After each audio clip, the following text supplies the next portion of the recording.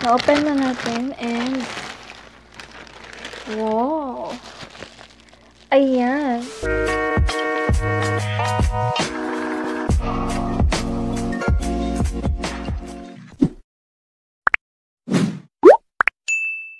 Hey guys, I'm back again with another video. So for today, as you can see on the title, I'm going to unbox my ring light that I bought from Shopee. And by the way, um, itong lapel microphone na ginagamit ko ngayon is binili ko rin sa Shopee and lalagay ko na lang sa taas yung link nung mini-review ko about this. Natin patagalin pa, i-open na natin itong ring light.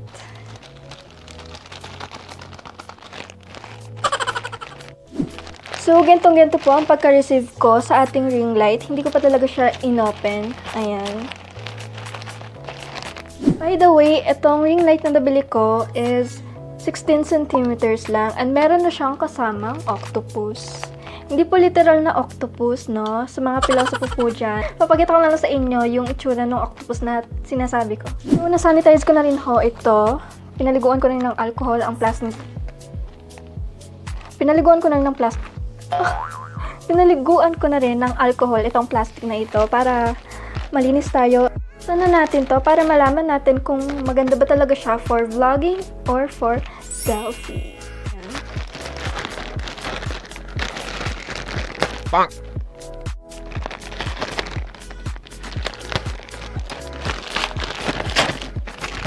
Yan. Na-open na natin and wow. Ayan. Maganda ang pagkaka-package. Meron siyang bubble wrap. Pwedeng pwede na. Pwede na! Okay, paputokin natin.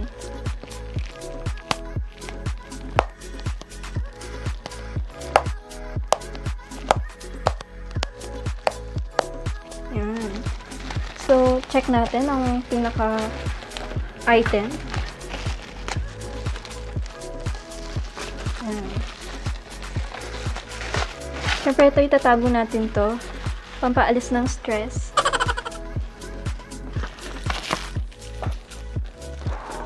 So, ito yung tinutukoy ko sa inyo na octopus. And, maliit lang siya. Sobrang liit. Parang sira. Sira siya, be. Sira. Sira siya. Wala yung ano niya eh. Yung ball. Something. Pero meron siyang ganito. Phone holder siya. Phone holder. Pwede din. Pwede naman. Tabi muna natin.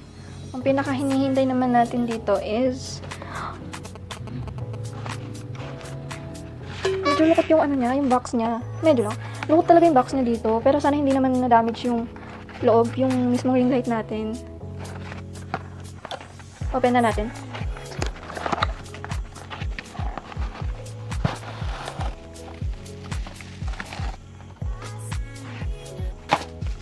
So, ito. Another bubble wrap. Siyempre. Ayun, ganyan lang siya kaliit. Parang isang dangkal lang. Ayan. Ganyan lang kaliit ang ating ring light. Pero, malay naman natin, malakas yung light niya. Check natin. Ouch! Bumagsak. So, ito. Ano ba to? Ito na. Ito ang ating 16 cm na ring light. Ayan. Mas maliit sa mukha ko. And by the way, meron siyang switch dito na pwedeng i-adjust kung gusto natin um, mataas or mababa yung lighting. Wala siyang adapter, so kailangan talaga natin ng adapter dito.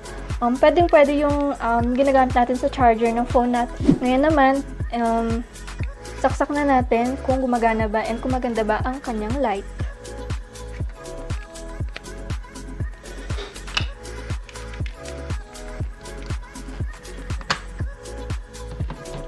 Ayan, nasaksak ko na. And, yun na natin.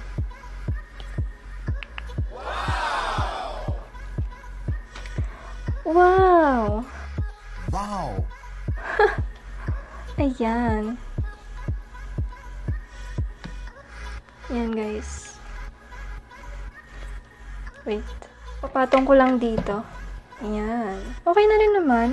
pang selfie and pang vlog. Malakas din yung light niya. So, yan yung light number one natin. And switch natin sa dito. Ayan, mas lum lumi mas lumiwanag yung light niya. So, yan. Ang ganda. Pwede, pwede na.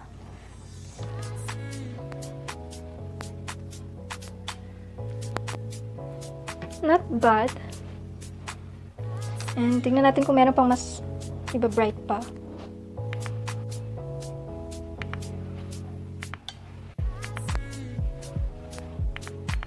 Ito, ito, todo na to guys. Todo na yung um, brightness niya.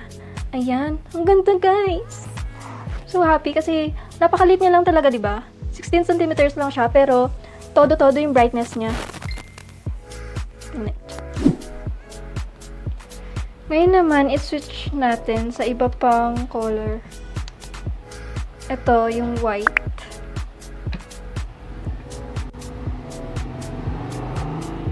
Diba? Ang liwanag sobra.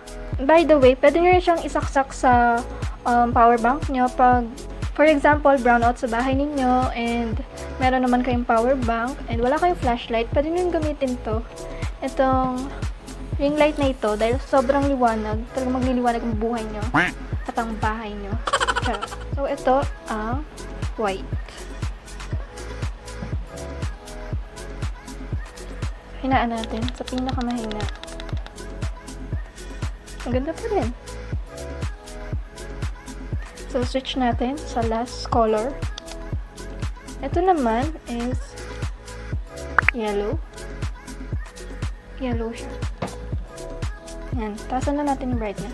Pero ito siya kapag pinaka-lowest yung kanyang brightness.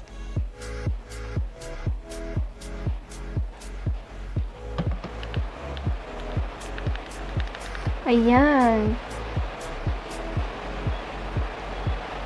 Maganda din siya. Maganda. Sobrang ganda.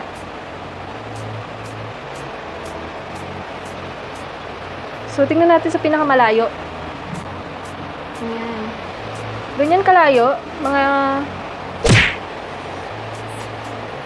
Saan din yun? Sobrang layo pero maliwanag na maliwanag pa rin siya guys. And ang ganda niya lang talaga. So, switch, switch natin.